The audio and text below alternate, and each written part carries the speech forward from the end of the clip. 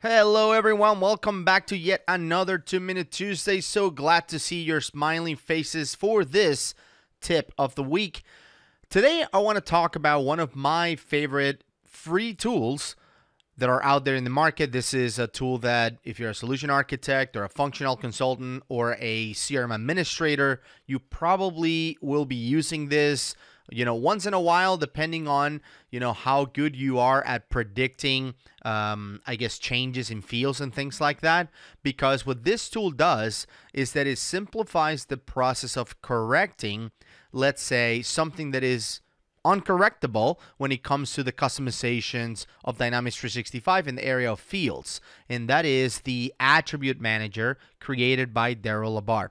It's one of my favorite tools. It's great. So if you, let's say you created a field that is a decimal number, uh, because that was a requirement at the time. And then a year later, you realize that, okay, now decimals are needed. Well, you know that you can change the data type on a field from decimal to, you know, or from whole number to decimal or from one to another in any way. So the attribute manager helps you do all of that. It helps you not only create a new field, it transfers the data, it replaces the field completely, and it's all behind the scenes and automatically.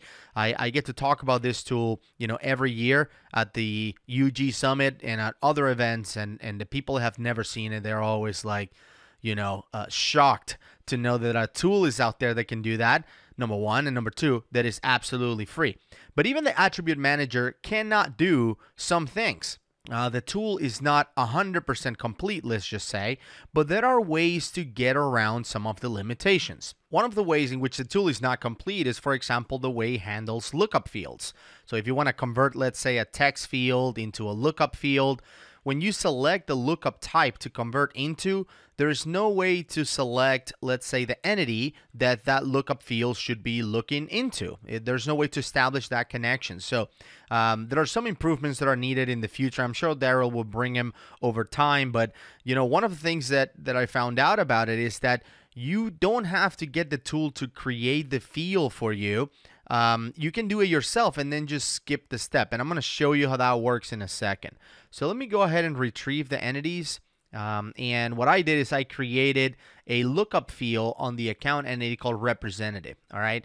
This tool, this this lookup actually looks into the contact record. So let me go and show you where that is. Uh, if I go here into the accounts, notice that I added that representative field. It's a lookup to the contact record. If I open any of these accounts, I'll just open it up. There it is. I added to the form as well you can go ahead and select contacts in the system. All of these are sample contacts.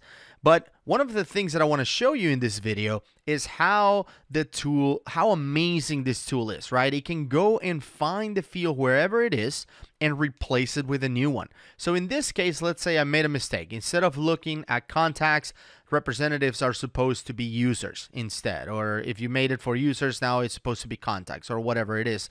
So if that's the case, um, what I'm going to do is I'm going to create a lookup field. Remember, you cannot create it with the tool yet. So I'm going to create a lookup field, and then I'm going to skip that step and still convert everything to it. Not only I added the field to the form, as you can see it here, but I also added the field to the view that you saw, the active accounts view, and I created a lookup for it. So let me show you what the lookup does. I'm going to pick Tom O'Neill here just for example. I'm going to save it. So there's a real-time workflow that appends the representative name to the account name. It's a super simple workflow, but I just wanted to show you that it's a workflow, a real-time workflow, and that is active. It's working right now. I just saved it, and you can see that it did that. And again, just to double check, there it is, Tom O'Neill, so representative right on that account. So if we try another one, Adventure Works, I'll just pick somebody else. Let's say Eva, why not? Hit save, and well, there's duplicate records. About that? No tricks. Ignore and save. And you will see that Eva's name is now appended into the account name. So that is what the workflow does. So once again, a custom field is a lookup to contact and is not only on the form and the view, but also included in a real-time active workflow. All right, so from here, what I'm going to do is I'm going to navigate into the solutions.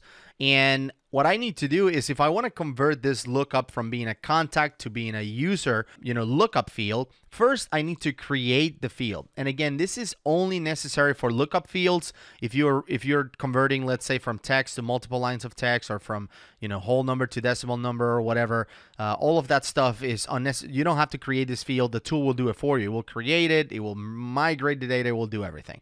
In this case, migrating the data won't be possible because we're going from a contact lookup to a user lookup. So I'm going to go ahead and, uh, and add right here, um, once again, another field. And this one will be called representative, right? Same thing. But I'm going to add user in here because the schema name does have to be, um, you know, different than the first one. So I'm going to create a lookup right here. And obviously I'm going to pick user in this case. I'm going to save it in the system.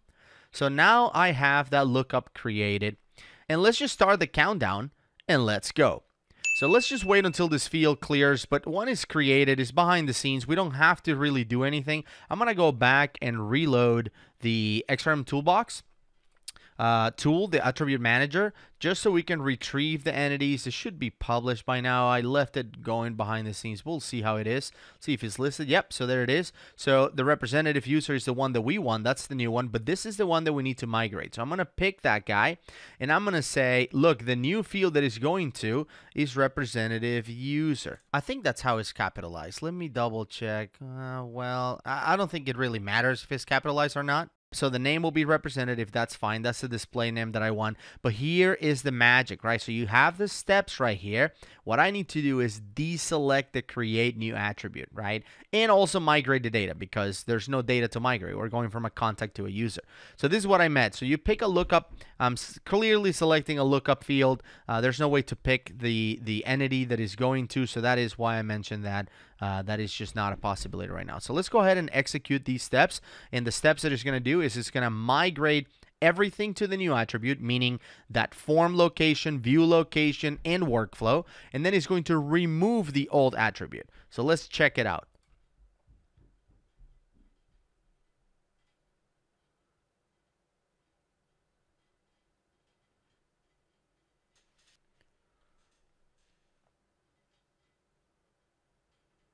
All right, and now that it's finished, I just wanted to mention that, by the way, this process will take more or less time depending on how many records you have, depending if you're migrating data. Obviously, if I was creating the new attribute via the tool and I'm migrating the data to the new attribute, let's say from a whole number into a decimal number and migrating thousands of records as part of that, this process can take a while. But, you know, if you do all of that all of that work manually. It would take you hours and hours and hours. So even if you have to sit there and you know look at the tool for five minutes or ten minutes, do it is totally worth it. So it's just way faster to do it that way.